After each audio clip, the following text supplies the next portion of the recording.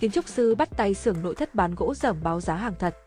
Vật liệu làm nội thất rất khó để xác định được chất lượng, đặc biệt là các loại gỗ công nghiệp.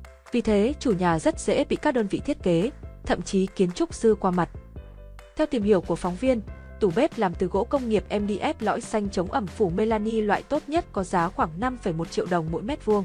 Nhưng trên thị trường, nhiều đơn vị báo giá loại gỗ tương tự chỉ với giá 3 đến 4 triệu đồng mỗi mét vuông.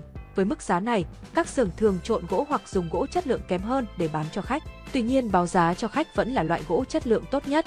đang nói, không chỉ các đơn vị thiết kế làm ăn gian dối, theo kiến trúc sư Minh Tâm, có trường hợp kiến trúc sư vì lợi nhuận đã tìm tới các xưởng đề nghị thẳng sử dụng gỗ kém chất lượng hơn, nhưng vẫn báo cho khách loại gỗ tốt nhất.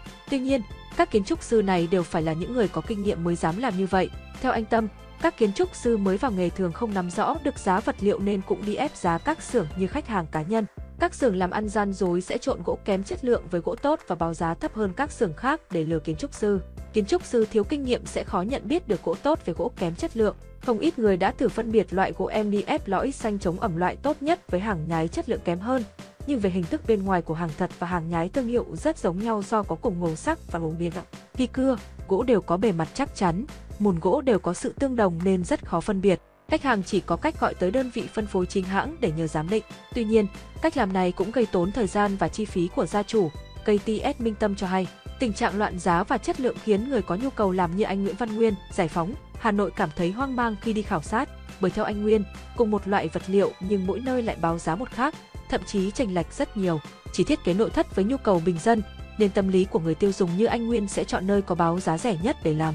Bởi vậy, các khách hàng như anh Nguyên tưởng chừng sẽ mua được gỗ giá rẻ khi tự đi khảo sát, nhưng thực chất loại vật liệu anh nhận về thường lại là hàng kém chất lượng. Kinh doanh về nội thất, nhưng chị Hoàng Thu Nga, Hà Đông, Hà Nội khẳng định, không ít đơn vị làm nội thất đã phải bỏ phân khúc nội thất bình dân vì không cạnh tranh được với hàng nhái. Ngoài nguyên nhân về giá, một phần còn do nguồn khách trong phân khúc nội thất bình dân đều do tin tưởng và được giới thiệu nên rất hạn hẹp. Tuy nhiên, nguyên nhân chính theo chị Nga là chưa có chế tài xử lý các đơn vị làm ăn gian dối và bảo vệ quyền lợi người tiêu dùng còn yếu. Bởi vậy, các doanh nghiệp nội thất mới tham gia thị trường muốn làm ăn chân chính rất khó để đứng vững. Theo tìm hiểu của phóng viên, loại vật liệu thường bị làm giả nhiều trên thị trường là gỗ MDF lõi xanh chống ẩm phủ Melani. Hiện tại, nếu thi công với tủ bếp, giá vật liệu là khoảng 5,1 triệu đồng mỗi mét vuông.